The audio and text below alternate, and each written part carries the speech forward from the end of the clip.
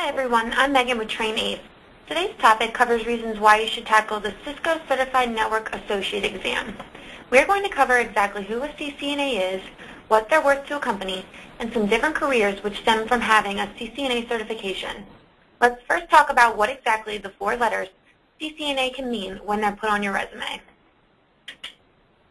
To be CCNA certified means you have an advanced knowledge in computer networking. This knowledge includes the ability to install, configure, operate, and troubleshoot networks of 100 or smaller. Routers and network security are also addressed in the material. Because of the vast amount of information a CCNA must be an expert in, a Network Plus certification, or at least a certification course, is highly recommended as a prerequisite to give you a strong base in the terminology and concept of networking. Having CCNA certified on your resume will put you bounds and leaps ahead of a competitor who does not have it. It's all about showcasing your skills on paper. Being CCNA certified may get you a chance for an interview that you wouldn't have had without it, even if you are an extremely proficient computer networker. So you've decided this interests you, but how should you pursue it? First, you sign up for a boot camp, which can provide you all of the knowledge you need to pass this exam. By taking a certification training course, you are ensured that you are learning only information that is relevant to material on the exam by authorized professionals. This exam is provided by Cisco, and the exam itself is proctored by Pearson VUE. The exam's number is 640802. It is a 90-minute exam consisting of 45 to 55 questions. Once you have passed the 640802, you are set to begin choosing which career path you'd like to go down. There are tons of choices and opportunities for CCNAs. A lot may choose to go on to achieve more advanced certifications, while many may choose to enter the job force as help desk support and field administrators. When choosing what path to go down after becoming certified, you naturally want to think about the monetary outcome. What is going to get you the most bang for your buck? Just having the CCNA credential could get you a salary increase of up to 20%. If you are an entry-level network associate, you can enter the field at as low as $30,000 with the ability to make over $100,000 once experience has been gained. The average salary of someone currently in the field and holding this certification is $87,790. As in any industry, salary is greatly influenced by the cost of living in the area you reside in. We can use Georgia and New York State as an example of this. It is generally much cheaper to live in Georgia when compared to New York. This is seen in the average salary of CCNAs living in these regions. In Georgia, the salary ranges from 38,500 to 112,600. In New York, salaries started at about 44,000 and increased to about 123,000. This is about a $10,000 difference between states. The United States Army provides the lowest compensation for CCNAs, starting at just $30,000. Cisco Systems, Inc. is known to be one of the highest paying companies. When working there, CCNAs can make upwards of almost $118,000. Your salary will only continue to grow as you gain further credentials and experience in your chosen field. Speaking of career fields, now is the perfect time to further discuss some job types that may interest you.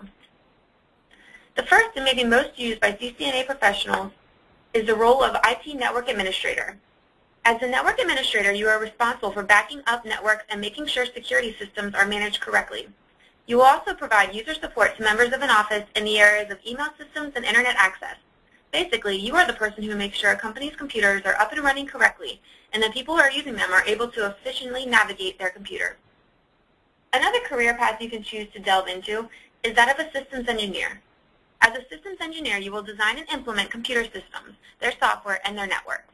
This can include defining very complex system requirements, determining systems specifications, and ensuring that system hardware and software are compatible and able to work well with each other.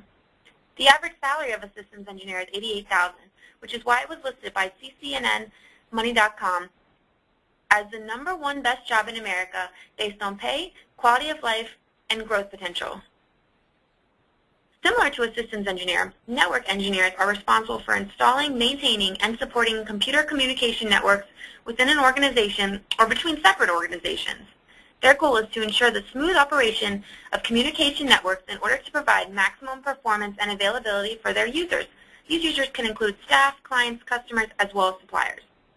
On any given day, they can do anything from setting up new accounts to ensuring the IT computer equipment is up to par with state-set standards and guidelines. If leadership is a strong asset of yours, you might want to set your sights on one day becoming an IT director. An IT director is hired to provide leadership, vision, and management to the IT department.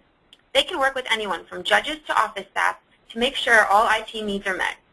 They serve on various committees on behalf of the IT department and act as a primary contact point with vendor. An IT director is the mentor and spokesperson of the department. An IT director typically makes about $130,000 a year. This continues to rise all the way up to a reported 182,000. Many times this does require a four-year college degree, but it is also attainable by hard work and showing commitment and dedication to a company. There are so many more jobs and certifications that a CCNA can lead you into. Way too many to list in just one short presentation. By becoming a Cisco Certified Network Associate, you are really investing in your future as an IT professional. You can increase your skills a lot by taking this step. If this is something that does interest you, we would love to help get you started. At TrainAce, we offer elite subject matter experts in classes that are 70% hands-on and allow you to actually experiment and work with the same equipment like routers that you would be working with in the field. I hope that you have learned a lot and this has helped to answer some questions you may have. Please contact us today if you have any